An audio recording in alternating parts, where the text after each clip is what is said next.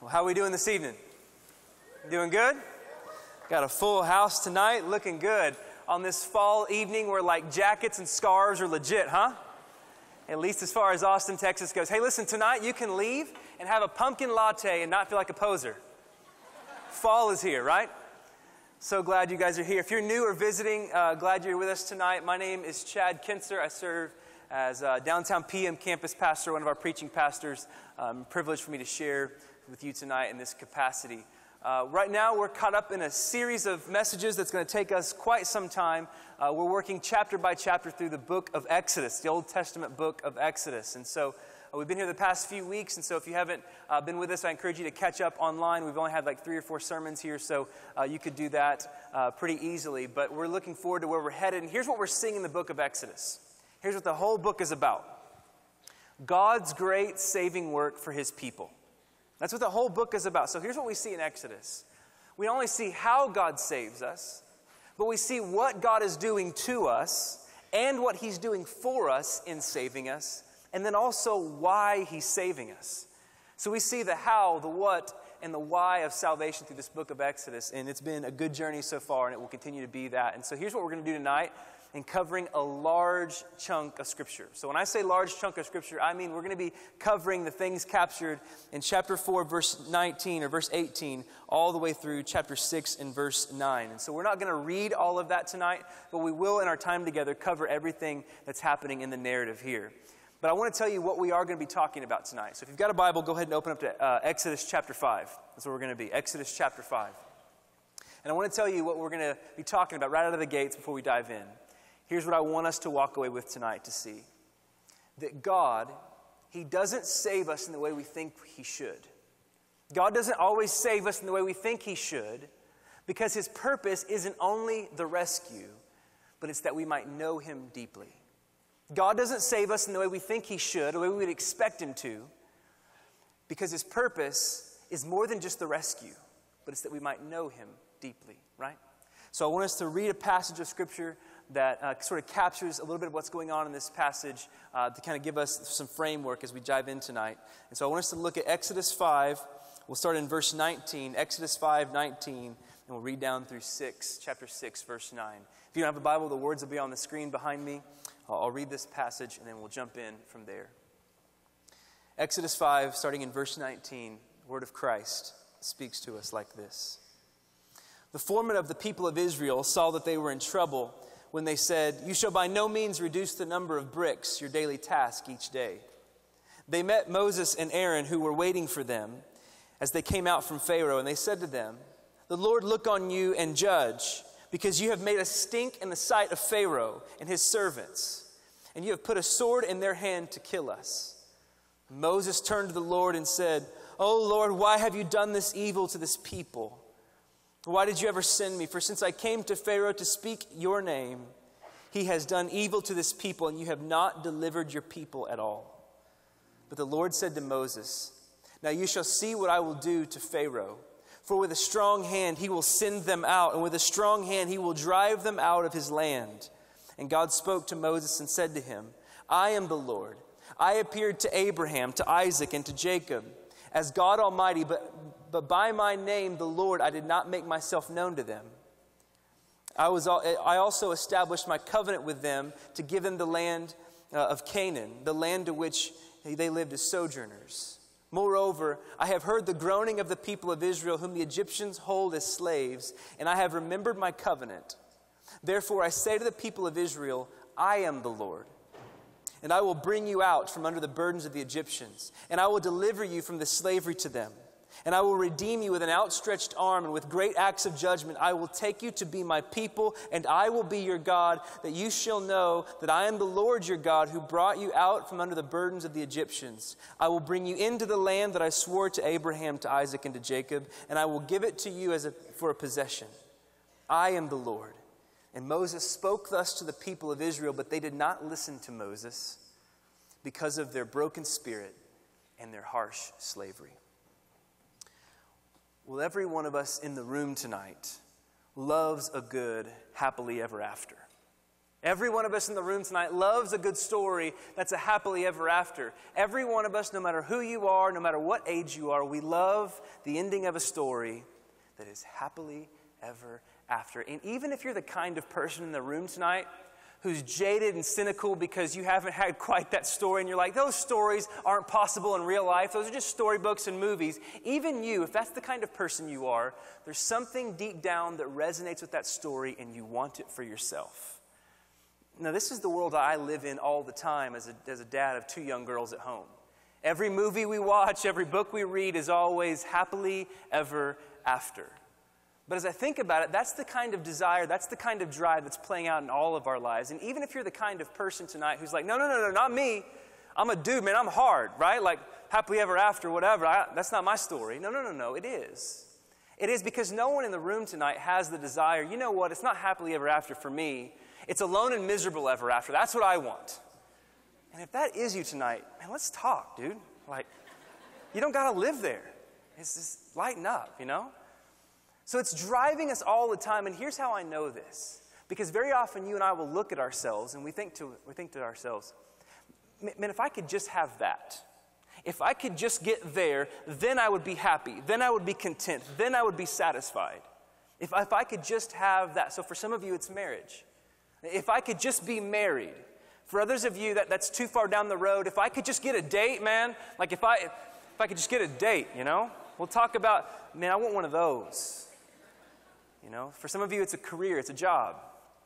If I could just have that career, if I could have that kind of house or that promotion or that platform or that position or that approval from people, if I could just get that, if I could just get over there, then it would all be better. But here's what I've come to see in my own life that no matter where it's been my marriage or having kids or becoming a pastor or dealing with insecurities in my own life of not having a dad growing up or the thousand kinds of things I've had that go through my head, that if I could just get there, if I could just deal with that, if I could just acquire this, then it would be better. Here's what I found that no matter the acquisition, no matter the addition, no matter the new development in my life, Sure, there are joys and there are blessings with these things, but there's also, there's also the fact that they come with them their own challenges. Also, there's new anxieties and new temptations you didn't have before. And so sometimes we think that if I could just get there, then these old anxieties, these old temptations, they're going to go away. And that'd be just fine because I don't want those anymore. I want new. But here's what ends up happening you have those old temptations, those old anxieties roll into a new situation, compounded with new anxieties and new temptations, and it's not happily ever after like you thought it would be. So then we get jaded, we get cynical, we wonder, is that even possible? But here's what I've come to understand life is a lot more about the condition of our souls. It's a lot more about the condition of our souls and how we're getting to know God and treasure God right where we are in the thick of our circumstances, right as they are, than it is about working to give ourselves a change of scenery to create our own illusion of happily ever after. You see, when Jesus comes to us as a rescuer, when Jesus comes to us as a Savior, He does so personally. And He wants us to get to know Him and trust Him personally. And here's what that's going to mean it's going to mean that He doesn't rescue us always in the way we think He should or the way we wished He would sometimes. Because His rescue is going to involve something much more than just our own plan. You see, through rescuing us, Jesus wants us to get to know Him. And here's what He's giving us in that He's giving us Himself, which is something that you and I can take with us, something that you and I can have to stabilize us much longer than when relief for our situation that we wanted rescue from is no longer needed.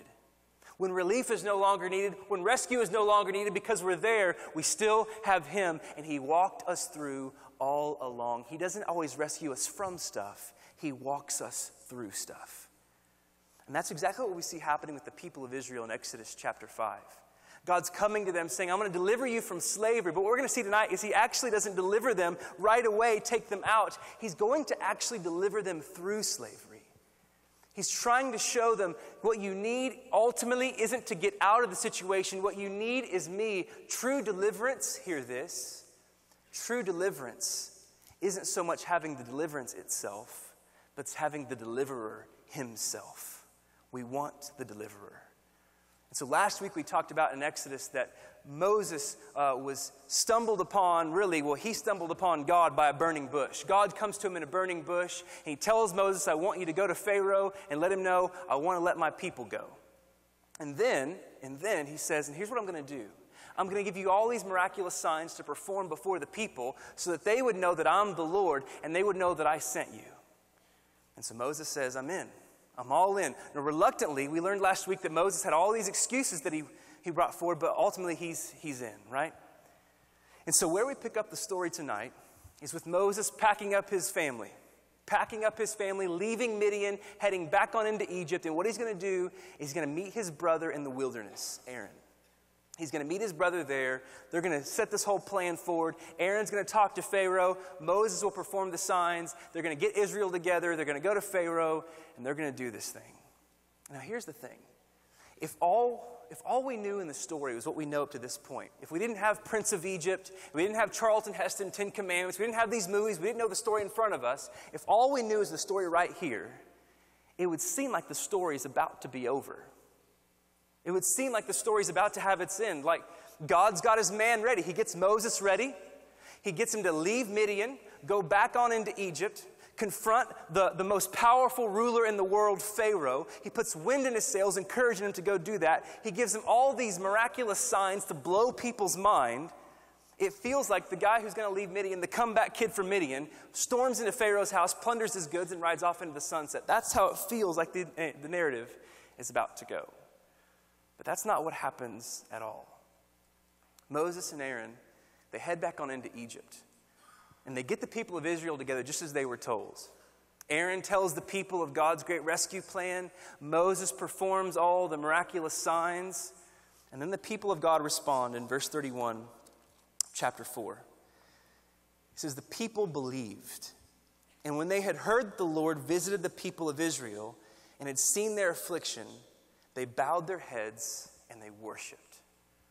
So they go on in, they tell the people, they see the signs, the people hear, the people believe, and the people worship, and they get fired up. We're getting out of slavery, but Moses and, uh, Moses and Aaron say, first we've got to go to Pharaoh.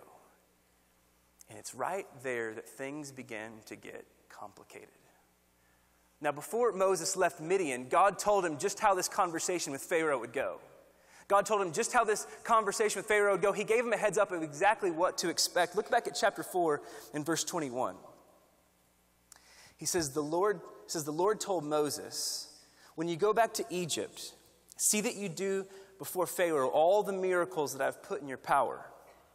But I will harden his heart so that he will not let the people go. Do you see that? So God comes to Moses and says, I want you to go to Pharaoh and say, Let my people go. But here's what I'm going to do I'm going to go harden Pharaoh's heart so he won't let the people go. So God's going to harden Pharaoh's heart. So, so, so, if I'm Moses right here, I don't know what you're thinking, but if I'm Moses in the wilderness and I'm kind of getting this whole thing from God, I'm going to raise my hand and go, I don't get the riddle. So do you want your people free or not? Like you say, hey, let's go set them free, but then you're going to do stuff so they're not free. I'm not quite sure how this is working. here's what's even crazier through the book of Exodus, we're going to see later chapters. There's several more times where it's going to show up that God's going to come and he's going to harden Pharaoh's heart. And so this is exactly what happens. Moses and Aaron, they go on into Pharaoh. In chapter 5, here's how it goes down verses 1 and 2. Afterward, Moses and Aaron, they went into Pharaoh and they said, Thus says the Lord, the God of Israel. Let my people go, that they may hold a feast to me in the wilderness. But Pharaoh said, Who is the Lord that I should obey his voice and let Israel go? I don't know the Lord. Moreover, I will not let Israel go. So they go before Pharaoh. Pharaoh completely opposes them. And then he begins to mock God. So, who is this Lord you're even talking about? That he's actually Lord. Don't you know that I'm God? That I'm going to obey his voice? No, no, no, no. I'm not letting them go. And then it gets worse. It gets worse. Pick up in verse 6. Sorry, verse 4. But the king of Egypt said to them, Moses and Aaron, why do you take the people of Israel away from their work? Go back to your burdens. And Pharaoh said, Behold, the people of the land are now many, and you make them rest from their burdens? The same day, Pharaoh commanded the taskmasters of the people and their foremen You shall no longer give the people straw to make bricks as in the past. Let them go and gather straw for themselves, but the number of bricks that they made in the past you shall impose on them, and you shall by no means reduce it, for they are idle. Therefore they cry, Let us go and offer sacrifices to our God. Let heavier work be laid on them, on the men, so they may labor in it and pay no regard to lying words. And so here's what happens Pharaoh opposes the request let the people go, and then he doubles down on their work and he increases the oppression. So you say, what, what's God doing here? Like, what in the world is going on? He tells Moses, I want to set my people free, but then he goes and he hardens Pharaoh's heart. So he doesn't set the people free, but not only that, he moves it in Pharaoh's heart to not just not let the people free, but to actually make it harder. So, what's going on? Remember what I said in the beginning God doesn't save us in the way we think He should. God doesn't save us in the way we think He should because it's not only about the rescue, but it's the, that we might know Him deeply. And so, hear this tonight God is far more concerned with keeping you and drawing you in than He is with making you comfortable. God is far more concerned with keeping you and drawing you in than He is with making you comfortable.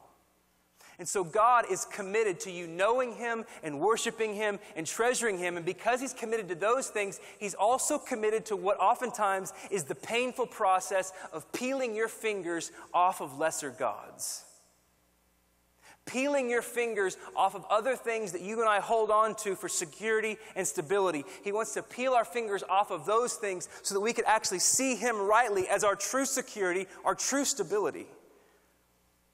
And I call that process often painful because what it requires many times is for God to allow difficult things to come into our life to prove our faith genuine. He allows difficult things to come into our life in order to make our faith in Him genuine. So, so for God, it's not enough for Him that you and I would just come around Him and say, I believe in you, I trust you. So He loves us too much to leave us there. What He's going to do, He's going to come around and say, okay, great, but now what I'm going to do is I'm going to expose all the areas where you really don't believe me and you really don't trust me so that we can come to a place where you really believe me and you really walk in trusting me. I want you to actually live in that, not just feel better about yourself because of a religious confession. I want you to actually walk in that. Okay. So, how does Israel respond to the word of Pharaoh that things are going to get worse? Chapter 5, verse 20. They met Moses and Aaron, who were waiting for them, and they, they came out from Pharaoh. And they said to them, The Lord look on you and judge because you have made us stink in the sight of Pharaoh. I'm not sure what all that means, but apparently Pharaoh didn't like them, and so they, they interpret that as they stink in the sight of Pharaoh. You have made us stink in the sight of Pharaoh and his servants, and you have put a sword in their hand to kill us. And so Israel turns on God and they turn on Moses. The second that they hear following God is actually going to make their lives more difficult, they walk away. And this is so us. This, this is so us. Here, here's what happens in a span of 20 verses Israel goes from worshiping God to walking out on Him. They go from saying, We're all in with you, to now we want nothing to do with you. And why? Because you won't give me, God, what I want. Because you won't give me, God, what I want. Now listen. At no point here was God playing games with Israel by telling them he was going to set them free and then really not. By no, game, by, by no point here was he uh, trying to string them along or lie to them. No, no, no, no. He doesn't string us along. He doesn't play games with us. Nothing was entering into the lives of Israel that didn't first pass through his hands. He knew exactly what was happening with Israel. He knew exactly what would happen with Israel, and he knew exactly how hard it was going to be. God knew. God knew. He was still trying to set his people free. And the same is true for us. God is not playing games with you when he doesn't give you an immediate relief from your situation. God's not playing games with you when He doesn't give you what you want, when you want it, in the precise way that you want it. He's not playing games with you in those moments. No, very often what happens when He lets the when he lets the situation, the suffering, the difficulty to continue, what he's often doing in those moments is he's with us there in the moment with us, but he's also then revealing the fickleness of our hearts in his great love for us. And here's why because God wants us to at least deal with Him honestly. God doesn't want your worship of Him just because you think He's a genie in a bottle that can get you what you want. He's not a lucky rabbit's foot that if you just rub it the right way, then your life is magical, right? No, God is God and we worship Him not for what He does for us, although He does lots of things for us, but because of who He is. And so, in those moments of difficulty and trial, He will reveal the fickleness of our hearts so that we can at least begin to deal honest with Him and then get true rescue and then get true worship. And so, it's true for us in the room tonight. The genuineness of your faith, the genuineness of my faith, is revealed when God doesn't give us what we want. When God doesn't give you what you want, that's the moment when the genuineness of your faith and your worship is revealed. Because how you respond to God in those moments reveals what's really in your heart toward God. When God doesn't play by your rules, how you respond to Him tells you what's in your heart toward God. So, very often, what you and I would rather have is no fight, no struggle, no temptations. God, just let us go on about our lives the way we want to go on about our lives. You see, wanting God is really easy when you get to keep your preferences and you get to keep your plans and when He gets to play by your rules. Wanting God in those moments is very, very easy. Wanting God in the moments where they see in verse 31 of chapter 4, oh, you've heard us, you've seen our affliction, you're going to deliver us? Well, then I want to worship you now. It's really easy in those moments. And why? Well, I'll call God whatever God wants me to call him because he's playing by my rules. So, really, I'm God in that moment. That's why it's so easy to want him and worship him. I'm God, he's serving my purposes. But God wants far more for us from that. He doesn't just want to deliver us from sin.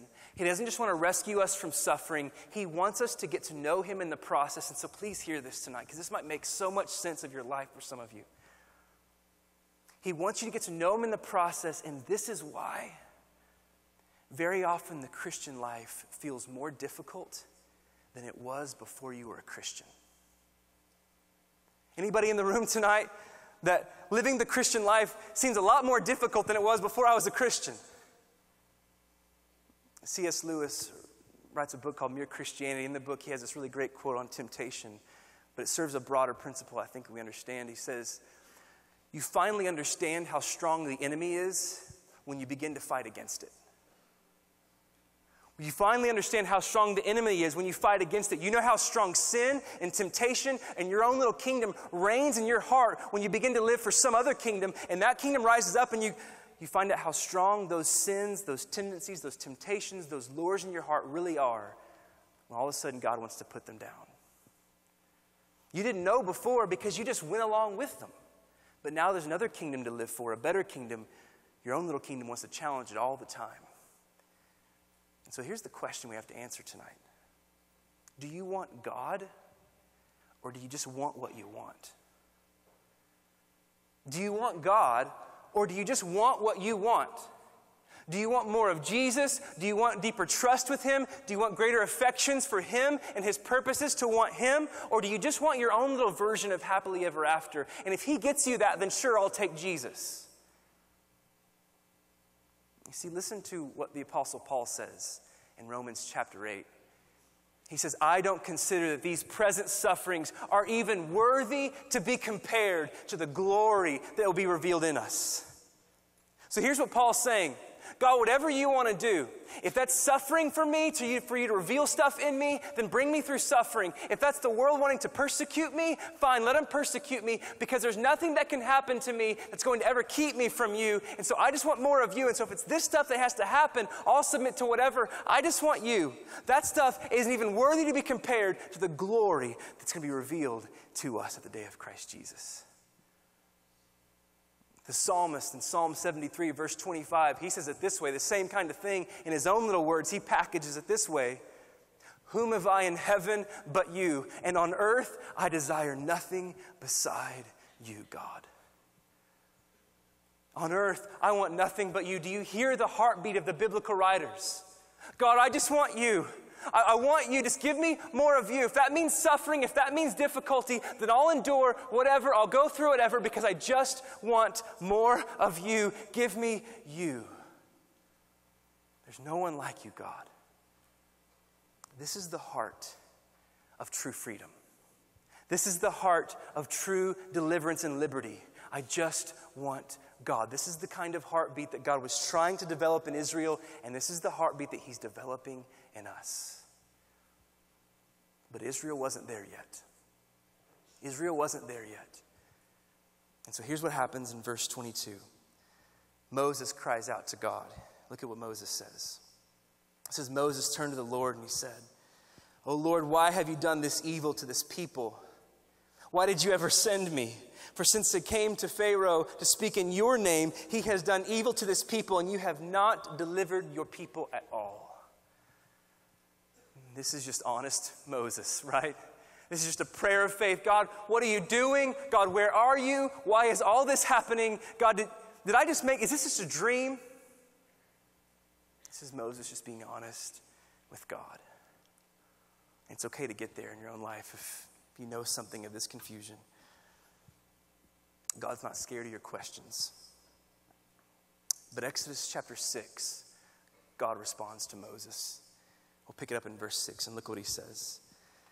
He says, Say therefore to the people of Israel, I am the Lord. I will bring you out from under the burdens of the Egyptians. I will deliver you from slavery to them. I will redeem you with an outstretched arm and with great acts of judgment. I will take you to be my people. I will be your God, that you shall know that I am the Lord your God who has brought you out from under the Egyptian uh, burdens of the Egyptians. And I will bring you into the land that I swore to give to Abraham, to Isaac, and to Jacob. And I will give it to you for a possession. I am the Lord.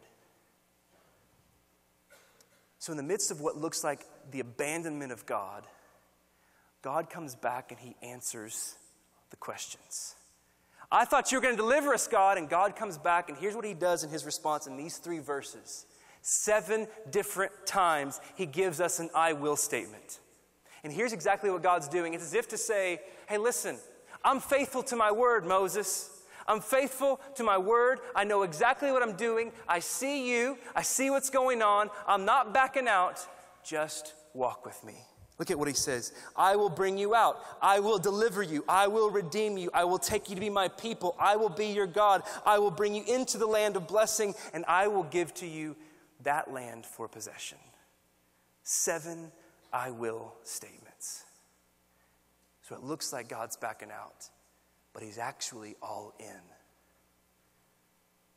Now, this is driving home crystal clear the point that I tried to make in the beginning that God doesn't save us in the way we think he should. Because his purpose in saving us isn't just the rescue, but it's that we might know him. And so, very often, God wants to bring freedom into your life and He wants to push you deeper into His saving purposes by actually bringing suffering and difficulty into your life.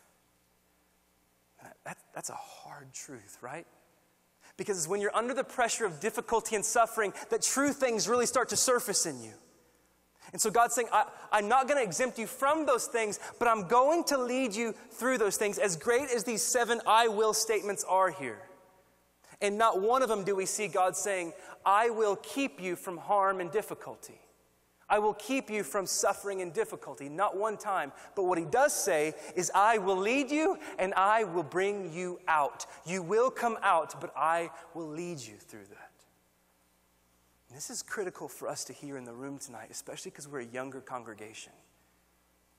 There's a tendency for us in our youth to think that we're sort of invincible that we're sort of young and energetic and creative enough to be able to control the things coming into my life and the things going out of my life. Enough to say, no, no, no, I'm exempt from suffering and difficulty because I can control peace and ease and comfort. I've got enough money. I've got enough savvy. I know how to keep myself in the clear. But don't buy the lie. Don't buy the lie that says following Jesus means you won't, you won't ever get hurt or that, that life won't ever get hard. Jesus never promised anything like that. You see, the good news of Jesus isn't that you don't get trouble, you don't get difficulty, you don't get suffering. No, no, no. The good news of Jesus is whatever comes your way, you get God, and He will be enough for you to walk you through and sustain you, and you get to know Him. That's the good news. And so here's what I know just, I mean, today's my birthday, whatever that's worth, but 32 years, I'm almost old enough to preach. Uh, here's what I've come to know you're either in a season of suffering, you've just come out of a season of suffering, or suffering's coming for you. Like that's the three categories of life. Right? And the good news of the gospel says, whichever category you're in, God is enough, and He has not abandoned you. He has not abandoned you. And so I know something of this in my own life with God here, and recently. A few months ago, I took my position here as campus pastor and um, a position I felt called to for a long time, uh, sort of stepping into everything I believe God's called me to. And, uh, but here's what ended up happening I took this position back in late April. And as soon as I stepped in, like as soon as I stepped in, I, I was seized with anxiety and fear and, and, and panic attacks like, like I've never known in my life seized up with anxiety and fear, like to points where I couldn't even leave my house. I, fear of failure trickled into fear of just about everything and irrational. I would tell you things I was afraid of, and you would go, You're crazy. But I would say, But, but, but it clammed me up to the point where my wife, I mean, I went through counseling, and my wife was, I'm not even sure this is the man I married. It, things just kind of weighed in on me. In May, I had a complete breakdown. And I had no idea what God was doing. No idea. I feel like I'm doing everything I'm supposed to do. I feel like I'm stepping into all that I've been called to, and the bottom's falling out. But here's what I'm coming to see through prayer and through loads of counseling, through the community that's helped me walk through, is that God has led me through this even more. God is the one who led me to all of that. He didn't keep me from it. It wasn't like, oh, magical little pastor moment. You're not ever going to experience anything. No, he, he led me to it. He led me through it. He did it. He was right there in the middle, even though I couldn't see him and still wonder about some of the stuff. And he did so because through all of this, over the last several months, I've learned increasingly about who I am as a son of God because of Jesus in ways that I would have never learned otherwise. And so here's. So, what ended up happening is, is I had begun to believe that, that ministry was built on me and what I was bringing to the table.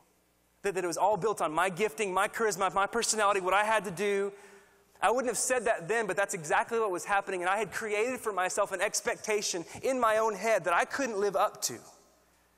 Thinking that, that was everyone else's expectation of me too, and I couldn't live up to it, and it threw me in the tank. God didn't exempt me from that. He could have peeled it back, He could have stopped every bit of it, he, but, but no. He knew May was coming, He knew the breakdown was coming, and He led me all the way through every bit of that. And here's exactly why because He was saving me. He was saving me. Saving me from myself, saving me from harming my family and the church by continuing to believe lies and continue in sins that I kept covered for too long. He was saving me, and through suffering and difficulty, He was exposing all of that and strengthening me through repentance and through suffering. And in moments when I felt like I was falling apart, God was holding my hand leading me through, and He's saying, I will bring you out. But I'm with you. So maybe you're hearing this tonight, and, um, and you hear about God bringing difficulty into your life or suffering to bring you freedom, and that sounds strange to you. maybe you're in a really difficult season right now and you're like, that's the last, that's the kind of last message I wanted to hear tonight. But let me encourage you with this, if I can. Let me encourage you with this. This shouldn't sound strange to us at all. Because this is exactly how God saves us from our sins. He has saved you and I from our sins through suffering.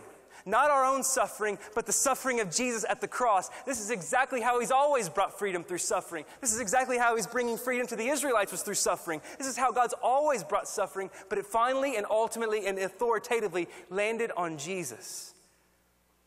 And so, Jesus, He suffered once and for all time for our sins. And so, here's why that's such significant news. Because that means that you and I, because He suffered for our sins, you and I will never have to suffer for the ways we've disobeyed and rejected God. Jesus suffered for that. Jesus was punished for that. You don't have to. And so here's what we now know through seasons of suffering in our own lives, because they still come. But here's how we can now understand suffering in light of the suffering of Jesus. Seasons of difficulty and suffering in your life, they're not God punishing you, sin was already punished. They're not God forgetting you. Jesus was already forsaken. It's not random stuff just happening to you. God is working all things, every difficult season, every painful season, every confusing season. He's working it together for your good and for your rescue. From sin, from lies you've believed, and He's making you a new person that you might worship Him for real. For real. He's saving you. And so we want a happily ever after. And we should. And we should. And here's why because happily ever after is actually ours in Jesus. Because of what he done for us on the cross, the happily ever after is ours because we have the Spirit of God and we have the future with God, and it's actually really ours. Now, it doesn't come in the timeline we'd want to, it doesn't come in the way we'd want it to, but it's actually ours, and we were hardwired for happily ever after. We just typically have a different timeline for it. And so suffering and difficulty will come into your life. And I can't tell you how, and I can't tell you when God's going to deliver you from it. But here's what I can promise you.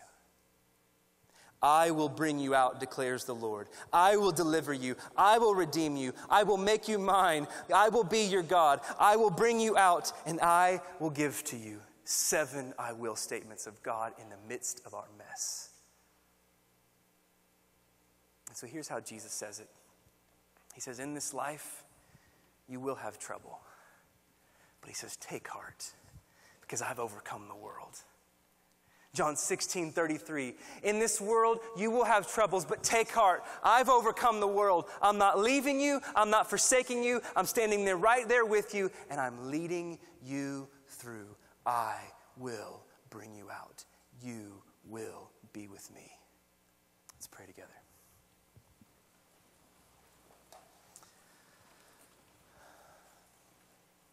Oh, God, thank you so much for your word. Thank you for your word that, that speaks to our mess, that speaks to our confusion, that speaks to the honesty and the difficulty of life that you're not foreign to it, that you're not caught off guard by it, that you're not surprised by it, but that you're fully aware of it and you're right here with us. Father, for my friends in the room tonight who maybe are walking through a tough season, walking through a dark season, I pray that they would be reminded afresh tonight. Would you somehow, by your Holy Spirit, even do more than has been done to this point? And with your Spirit, even now as we pray, would you lift them with a faith and a confidence in your presence that's with them even now? That you will deliver, you will redeem, you will bring out, you will give. Father, would you be with those who are suffering even now?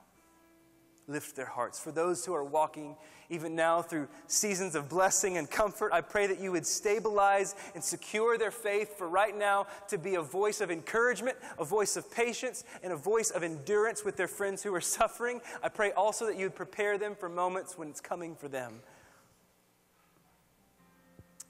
God, I thank you that even as we talk like this in honesty, it's not doomsday. It's not. You have promised us we'll have troubles, but you've promised us even more than that, that you have overcome the world. That these difficulties and sufferings that come into our life, they don't define us and they won't stay forever because you have promised us face to face communion with you. You have promised us glory and reigning with Christ in all righteousness. That is ours. Our Father, would you lift our heads to see you even in the midst of the storm? we declare, along with all the saints through the ages, You are Lord, King Jesus. In Jesus' name we pray.